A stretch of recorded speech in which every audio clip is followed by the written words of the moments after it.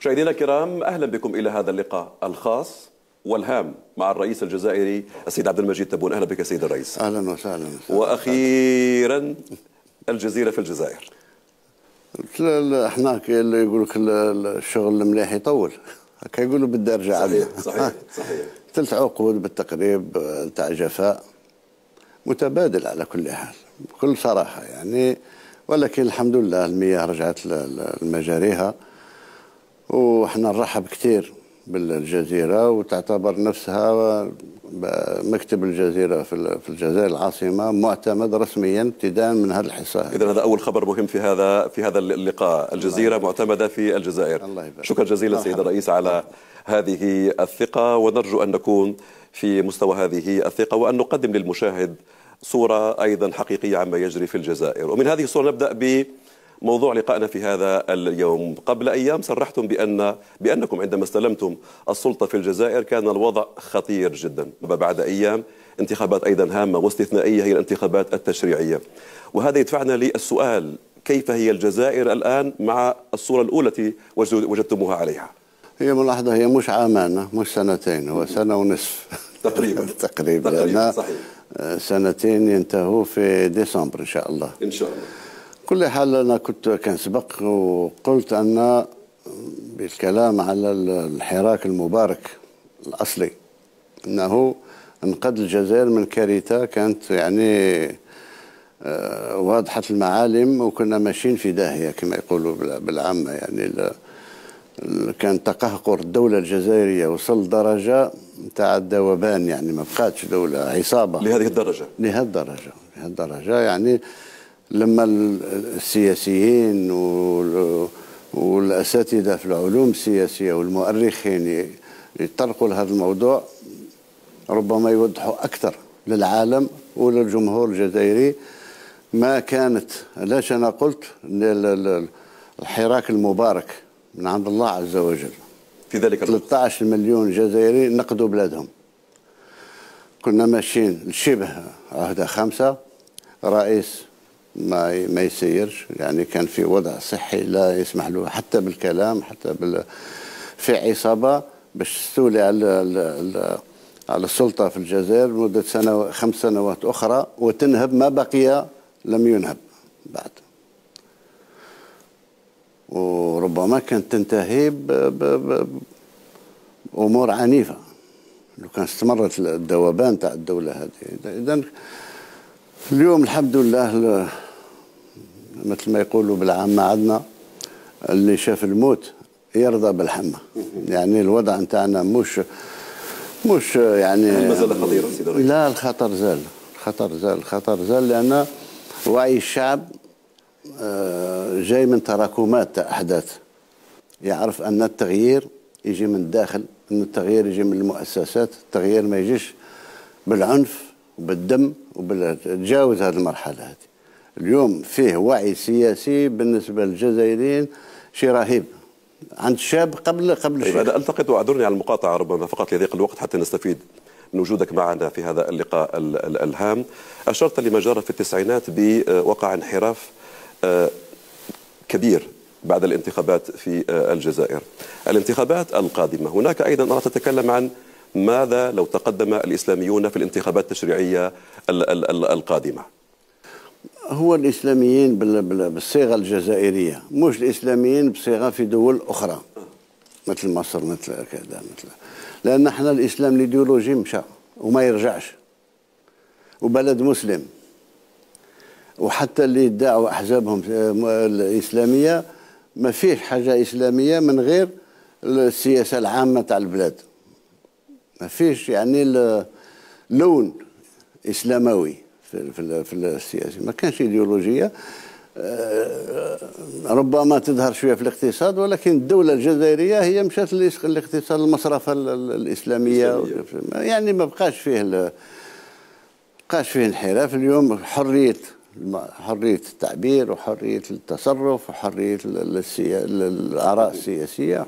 خلت آه، باش واحد ماهوش مسلم ولا من بلد غير مسلم يتخوف من التخ... يتخوف من هذه الصورة هذه اللي قلت انت ولكن بلد مسلم طيب أشرت إلى مصطلح آه، العصابة وهو من المصطلحات اللي أصبحت دارجة بكثرة في الجزائر، قلتم أنه على صعيد السياسي ببناء هذه المؤسسات، الرئاسة، الدستور وبعد أيام الانتخابات التشريعية تم تجاوز حد كبير أو نصيب كبير من هذا آه، الخطر. ماذا عن العصابة؟ ماذا عن الفساد تحديدا؟ هل تم لجم حجم هذا الفساد أم ما زال موجودا؟ لازمنا نكتشف لازمنا نكتشف. يعني حجم كان حجم رهيب.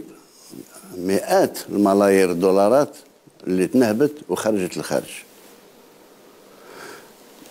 البعض ظاهر منها والبعض غير ظاهر. تقدرش تعرف.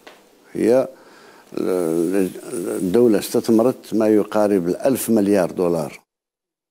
من بداية الألفينات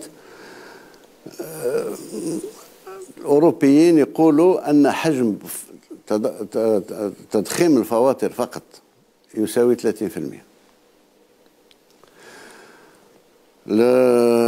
الاستيراد كان فوضوي. كانت فيه فوضى وكان كل شيء مركز بين خمسين شخص بالتقريب.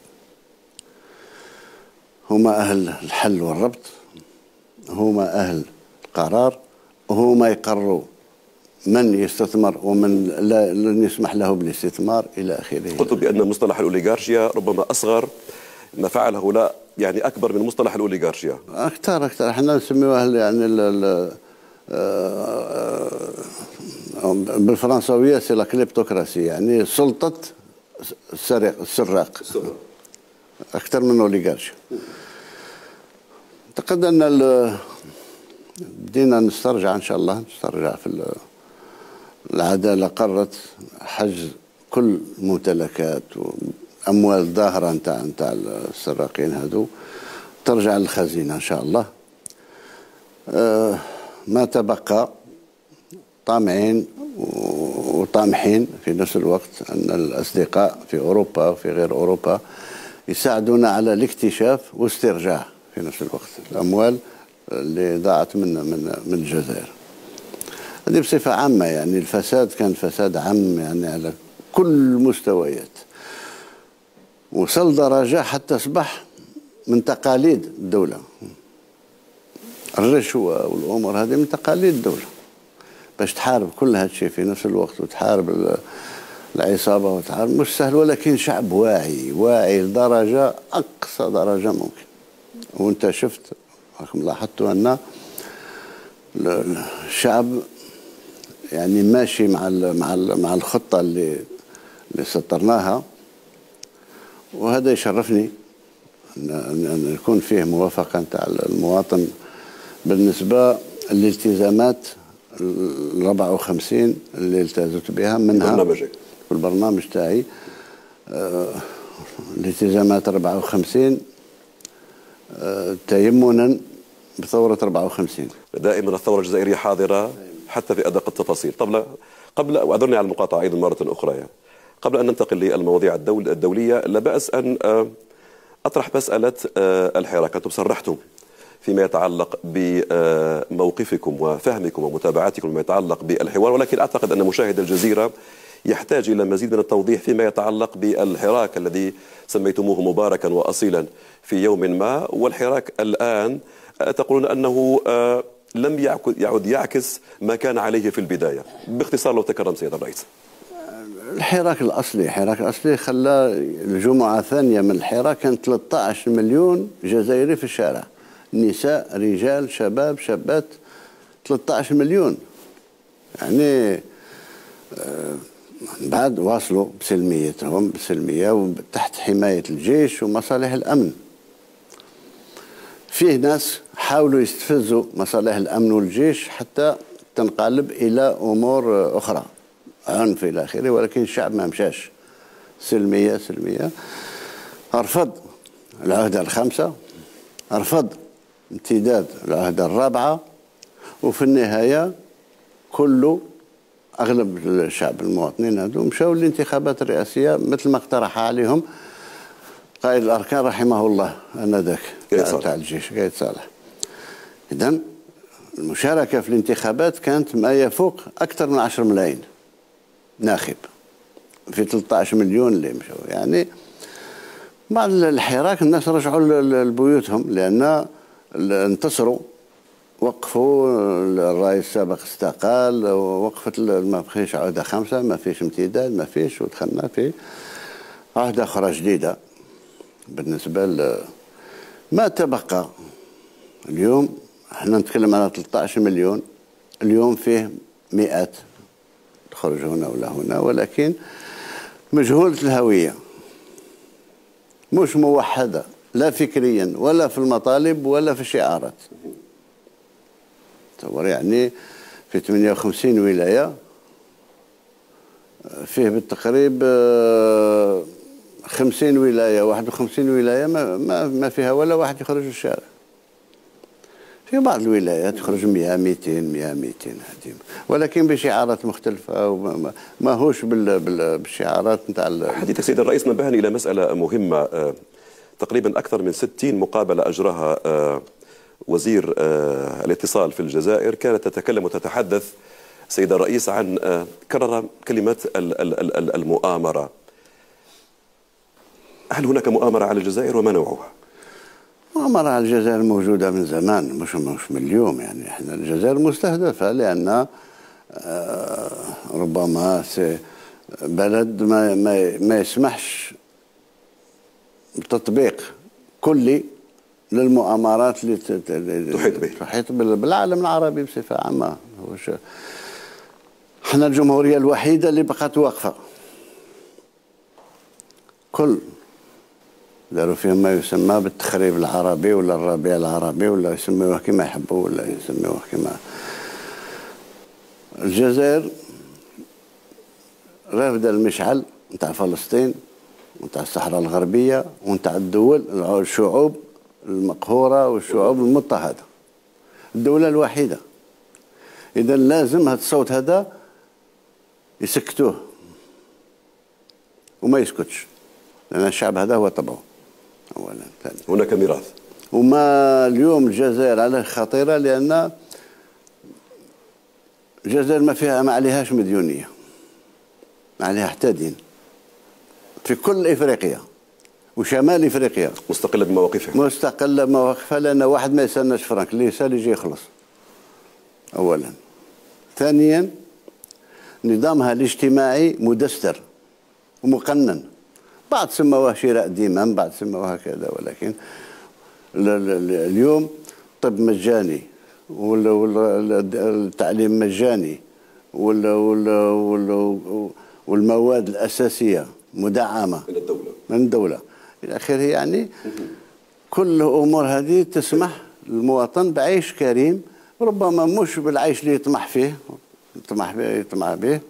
ما تقول سيد الرئيس؟ يستفز عندي الكثير من من الأسئلة. ربما آه، يدفعني للسؤال عندما تكلمت عن آه، دور الجيش في هذا الانتقال بين ما كان وما عليه الجزائر الآن. يدعوني للتساؤل عن أسئلة مطروحة عن العلاقة بين الرئيس وبين الجيش. ذكرت في تصريحاتك الأخيرة أن الجيش أثبت آه، وفاءه وكذلك أثبت حرفيته ومهنيته عندما كنت مريضا. أول شيء الحمد لله على السلامة.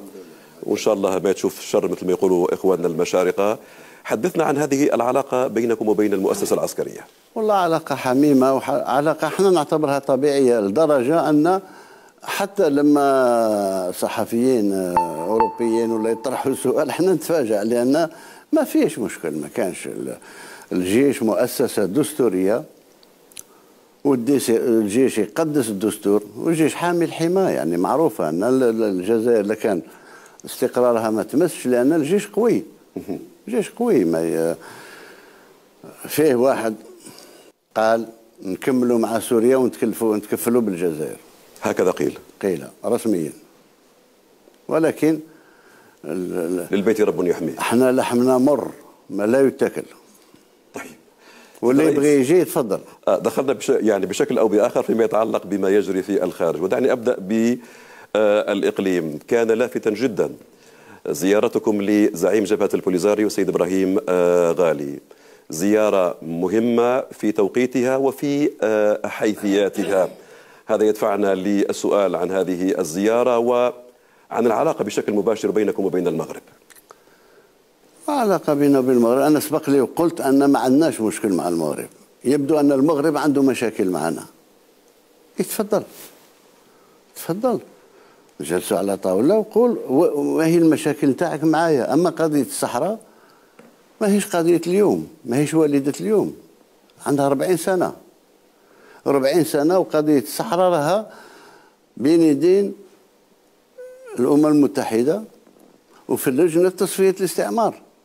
ماهيش في لجنة آه، يعني الخيرية ولا تصفية الاستعمار. الأمم المتحدة تعتبر أن الصحراء الغربية مستعمرة وعندها قوات رسوم موجودة تما. ومبعوث من الأمم المتحدة.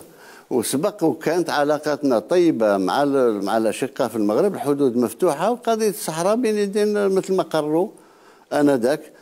رحمهم الله في ثلاثة الملك فهد والشاذلي والحسن الثاني. قرروا على أساس العلاقات تبقى طبيعية. والحدود مفتوحة وقضية الصحراء تبقى في الأمم المتحدة. ما هو شيء جديد. إحنا ما تبدلناش وما نتغيروش والأمر الواقع ما نقبلوش مهما كان الحال. طبعا هو ملف مهم لكن كما قلت الوقت يزاحمنا إيه. والموضوعات كثيرة. الآن نذهب إلى ليبيا. أيضا ملف مهم جدا بالنسبة للجزائر وهنا أذكر آه، ما صرحتم به تقريبا قبل عام لا من اسمح لي تفضل تفضل. اسمح لي نقاطعك تفضل. باش نفصلوا في هذا الموضوع. هذا. تفضل. إحنا ماناش خارجين على القانون. الجمهورية العربية الصحراوية عضو مؤسس للاتحاد الأفريقي. عضو مؤسس. كانوا كانت كانت عضو في الاتحاد منظمة الاتحاد الإفريقي. لما تغير اصبحت الاتحاد الإفريقي ما بين الأعضاء المؤسسين الجمهورية العربية الصحراوية. فيها 75 دولة معترفة بالجمهورية العربية الصحراوية. إذا إحنا الغالي كان أنا كنت استقبلته من قبل ما ناش نستقبلوه في الخفاء ولا استقبلوه على الشعب الصحراوي انتخبوه لما كان هناك جدل بالطريقة التي غادر بها آه، إسبانيا إلى الجزائر لا غادر بها غادر بها برخصة من الاسبان سمعته القضية مع المحكمة العليا وقال ما, ما, ما لا شيء. إن أذنت لي بالعودة للملف آه، الليبي. صرحتم قبل سنة بأن طرابلس خط آه، آه، أحمر. واستقبلتم قبل أيام رئيس الحكومة الوحدة الوطنية السيد دبيبة. باختصار لو تلخص لنا عندما قلتم بأن طرابلس خط أحمر يعني ماذا كنتم تقصدون؟ كنا نقصد أن ما نقبلش باش تكون أول عاصمة مغاربية وإفريقية يحتلوها المرتزقة. كنا ندخلوا آنذاك. تدخلوا عسكريا؟ نتدخلوا بصفة ولا أخرى. ما نبقوش مكتوفين الايادي ولما قلنا خط أحمر حقيقة كان خط أحمر. وفهمونا اللي وصلت الرسالة. وصلت الرسالة ولم تحتل طرابلس. إحنا ناس مسالمين. بصح كما يقول لك الجزائري لما يطلع الدم خلاص بقيناش الحق يبقى حق والظلم يبقى ظلم. ما عندناش منطقة رمادية. في بعض الظروف يا أبيض يا أسود. الرمادي ما نعرفوش بشكل سريع أيضا سيد الرئيس ما يجري في مالي وهو أيضا مهم جدا انقلاب يرث انقلاب. لا بالنسبة حتى بالنسبة لطرابلس اليوم تفضل. كان أول رجوع للدبلوماسية الجزائرية. صحيح. الجزائر كانت تمحات من الوجود. الناس تسرق في الليل تسرق في النهار تسرق في الخفاء ما كان لا. اليوم النخوة تاع الجزائر رجعت. الدبلوماسيه رجعت وفعالة ومع الجيران قبل ما باقي العالم. عندك أن تعطينا سبق صحفي عن دور الجزائر في الأيام القادمة والشهور القادمة فيما يتعلق بالقضية الليبية. هو إحنا القضية الليبية واش طلبنا؟ طلبنا من برلين حضرنا في برلين طلبنا باش تكون انتخابات عامة. حتى نعرف من يمثل من. لأن كل واحد يدعي باللي هو هو ليبيا. قلنا انتخابات عامة تحت الأمم المتحدة تحت إشراف الأمم المتحدة ثم ننطلق في دولة عصرية. كان بالإمكان كل الفرقاء الليبيين كل رؤساء القبائل كل طلبوا باش يدخلوا الجزائر. باش يتلاقوا في الجزائر ويقروا يعني ب ينتخبوا منهم. من يعني يسير مؤقتا الدولة الليبية. إحنا رفضنا. رفضنا لأن قلنا إحنا ناس دولة تحترم القانون وقانون الدولي وعمر الجزائر منذ استقلالها إلى يومنا هذا ما خرجت بمليمتر على القانون الدولي. إحنا الدولة الوحيدة ربما. مبدأ عدم التدخل في شؤون الغير. عدم التدخل والسماع والطاعة للأمم المتحدة. القوانين الدولي نعم. الأمم المتحدة اللي تقرر الأمم المتحدة إحنا نطبقوه. الأمم المتحدة في النهاية. إذا عفوا على المقاطعة. إذا ننتظر دور مختلف بالنسبة للدبلوماسية الجزائرية فيما يتعلق بالشأن الليبي. أكيد. طلبوا تقريب منا الشيء اللي كانوا طالبينه القبائل الأخرى. اليوم رسميا طالبين باش المصالحة الوطنية عملية المصالحة الوطنية بين كل الفرقاء الليبيين تكون في الجزائر. وهذا طلب من السيد دبيبة بنفسه وصرح بها التلفزيون الجزائري. وهذا الشيء شرفنا. شرفنا لأن الأشقاء الليبيين عرفوا باللي آه، الجزائر ما طمع حتى في شيء. ما عدا رد الجميل الشعب وقف معنا أثناء الثورة مقدسة جاء الوقت وين إحنا نوقف مع الشعب الليبي كذلك. هذا ما كان. مالي سيد الرئيس؟ بالنسبة لمالي مالي من من من من, من 62 منذ استقلالنا. وحنا متكلفين مشاكل مالي كجيران كأشقاء ك مالي فيه قبائل اللي نصها جزائرية ونصها مالي إلى آخره. في شمال وجنوب مشكل مطروح بحدة. إذا كنا إحنا دائما ندخلوا على حسن نية. ما ما عندنا حتى شيء طالبينه بالمقابل. يبدو أن المالي داخل في الطوق تاع الجزائر. لأن هل لك أن تشرح هذه الفكرة إنها مهمة. نشرحها لك نشرحها لك مالي ساحل بصفة عامة تزعزع من بعد ليبيا.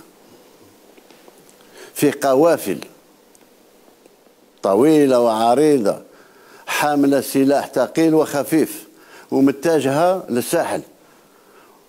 تمثل دول؟ تمثل عصابات ولكن شافوها ساتل أوكي. راقبوها ولا واحد وقفها. وش معناتها؟ معناه معناه طوق الجزائر. بعد اختراقها يصبح سهل. طيب هذا يجرني السؤال عن العلاقة هذا علاش الجيش نتاعنا جيش مقدس وجيش قوي ويزيد يتقوى أكثر. طيب آه هناك سؤالان يعني مهمان. آه السؤال الأول آه شاهدنا الفترة الأخيرة مناورات عسكرية مكثفة للجيش الجزائري بمختلف آه الأسلحة. هل هي آه، رسالة لجهة ما حذر من شيء ما باختصار لا لا هو هو الجيش خرج من السياسة. خرج من السياسة راه في بالك 12 سنة 15 سنة خرج تماما من السياسة وفات المهنية. هذه داخلة في المهنية نتاع الجيش. يعني الجاهزية في أي لحظة جاهز لأي طارئ. ما بقاش يدير السياسة الجيش. خطاه طيب العلاقة مع فرنسا الرسائل المتناقضة آخرها رسالة صحفية عن طريق صحيفة آه، فرنسية وكلام قوي باتجاه الجزائر أو السلطة في وطبيعة السلطة في الجزائر. حتى سببوا الانتخابات القادمة بأنها فرصة ضائعة أخرى للتغيير في الجزائر. بينما تصريحاتك أن علاقتك بالرئيس الفرنسي جيدة وبالتالي كيف نفهم هذه الصورة؟ سهلة للفهم. فرنسا فيها عدة فرنسات. تكون يعني فيها فيها ثلاث لوبيات وواحد ما يمشي مع الآخر. وكل واحد يقرر. فيها لوبي تاع ناس اللي خرجوا منا بعد الاستقلال وما زال أحفادهم وأحفاد أحفادهم ويغدوا فيهم الروح نتاع الكراهية على الجزائر والجنة المفقودة اللي فقدوها وإلى آخره. فيه ناس اللي وهاد الناس هادو الانتقاميين معهم بما كان يسمى بالمنظمة الجيش السري لوايس اللي قتلت الجزائريين و... ما زالت إلى الآن. في فرنسا ما زالت موجودين إلى الآن. موجودين سيد الرئيس يعني بكل بكل أسف. وفيه فيه فيه فيه فيه لوبي آخر تكون من الناس اللي جزائريين اللي اختاروا آنذاك باش يمشوا مع فرنسا وكذا. بكل أسف الوقت جدا حاصرنا. بقي معي القضية الأم أيضا. بالنسبة للدبلوماسية لا باش نكمل لك انت ربما كنت معني على تعني المقال تاع Le Monde. Le Monde يطبق عليه القول إذا أكرمت اللئيم تمرد. تمرد. Le Monde كان ممنوع لأن Le Monde ملي مات المؤسس نتاعو Beuve-Méry انحرف تماما. انحرف تماما ما بقاش ماشي بال بما أكرمتموه مشى مع لأن أنا دخلتهم. كانوا ممنوعين في الجزائر. أنا اللي دخلتهم. وصبح يعض في اليد اللي دخلته بالاكاذيب لو كان صح معليش. الجزائر ماهيش الجزائر اللي يتكلم عليها Le Monde.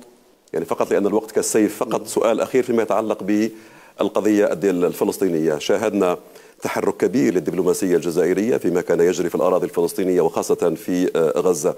باختصار سيد الرئيس العالم تغير. هناك دول اتجهت باتجاه دول عربية باتجاه التطبيع وما زالت الدبلوماسية الجزائرية على حالها. كلمة أخيرة نختم بها هذا اللقاء. إحنا ما نغيروش المواقف تاعنا. أنا قلت لك قلت لك المواقف تاعنا ما تغيرش لا بالتقادم ولا ولا ولا, ولا بالتخاذل. فيه اتفاق في على مستوى الجامعة العربية. كل العرب اتفقوا أن يكون فيه سلم مقابل الأراضي. يعني دولة فلسطين ومن بعد السلم مع المحتل. اليوم لا, لا, لا, لا سلم لا لا لا, لا أراضي ولا ولا ولا يحزنون. إيه وعلاش نطبقها سيد الرئيس عبد المجيد تبون رئيس الجمهورية الجزائرية شكرا جزيلا لك أن منحتنا هذه الفرصة لهذا اللقاء وشكرا مرة أخرى أن أصبحت الجزيرة معتمدة في الجزائر. مشاهدينا الكرام بذا نصل إلى ختام هذا اللقاء الخاص. إلى اللقاء بإذن الله.